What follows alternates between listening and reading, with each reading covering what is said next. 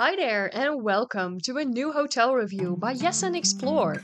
After our flight from Hanoi, we've arrived in Singapore, and before we went to our hotel, we decided to check out the waterfall at Jewel Changi Airport. We found a Shake Shack and were instantly hungry, so we decided to go for some burgers, crinkle cut fries, and milkshakes.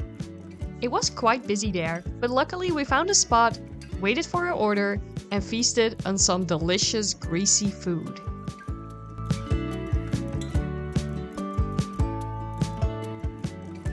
After our hamburger craving was satisfied, we headed to our hotel. And it took us a while to find a hotel with a good location for a decent price because Singapore is so very pricey compared to the rest of Southeast Asia. We decided on booking the Hotel G in Singapore, the location of this hotel was the deciding factor for us, as it's very close to the Bencoolen MRT, which gets you easily to some of Singapore's top sites, such as the Marina Bay Sands area and the Gardens by the Bay. If you enter the hotel from the street level, you'll step into their bar slash restaurant first. And from there on, you're directed to the elevators and you head up to the reception desk on the second floor. If you arrive by car, you'll enter straight from the parking garage into the reception, which truthfully makes a whole lot more sense than stepping into the bar first and then heading up with the elevator.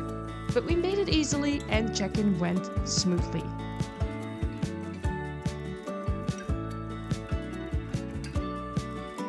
We paid 110 euros per night, including breakfast, for a great room win. Their words, not ours. And as you can see, the reception area is looking quite inviting and really has this vibe of, hey, we're here to welcome young people. Our room was on the 12th floor, and as always, Lawrence is here to welcome us into the room.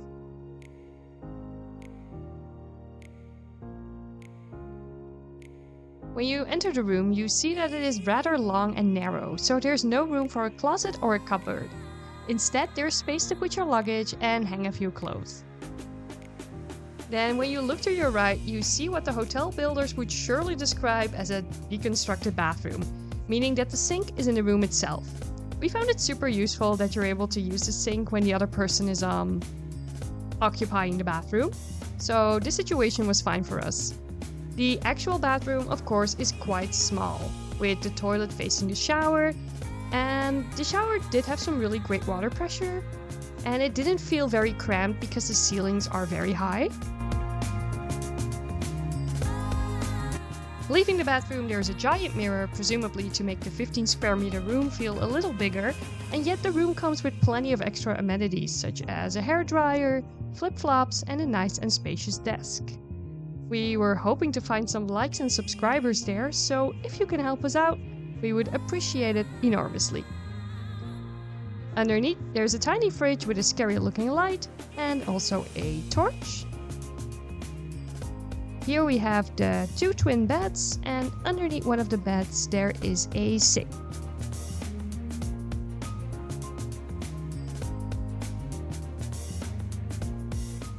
As for the beds, they were on the firmer side, but we're kind of used to that now, so we enjoyed these beds. Further in the room, you'll find some nice decoration and a really fun lamp. Of course, there's uh, also a TV, which was extendable and comes with a welcome message.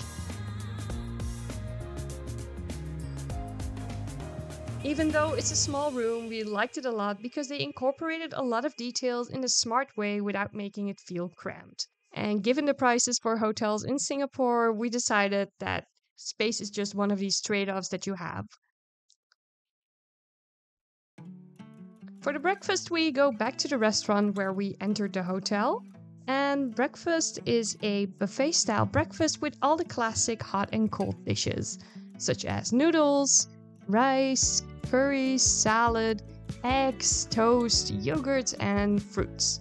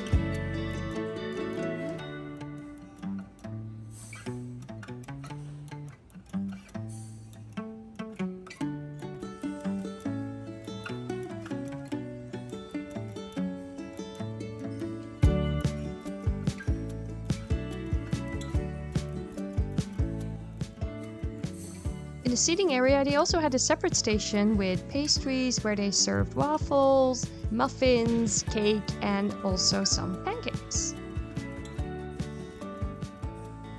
I have to say, these were very tasty, and even the bread was actually pretty good.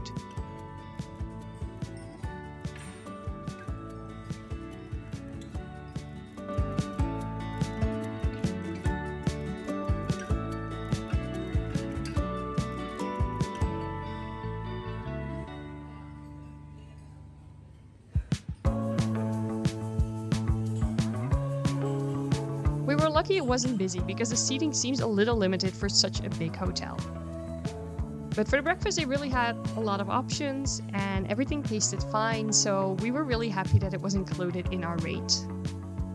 Lastly, we wanted to check out the gym, but unfortunately, we found out that you have to make a reservation at the reception if you want to use it.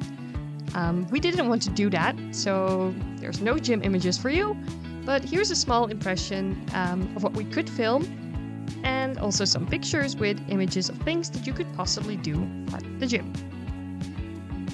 We would definitely recommend this hotel if you're looking for an affordable, modern, and convenient hotel in Singapore. We really enjoyed our two night stay here and we hope that you enjoyed watching this video. We want to thank you so much for watching and if you want to see our VIP bus trip from Singapore to Kuala Lumpur, stay tuned and subscribe to us at Yes and Explore. Bye!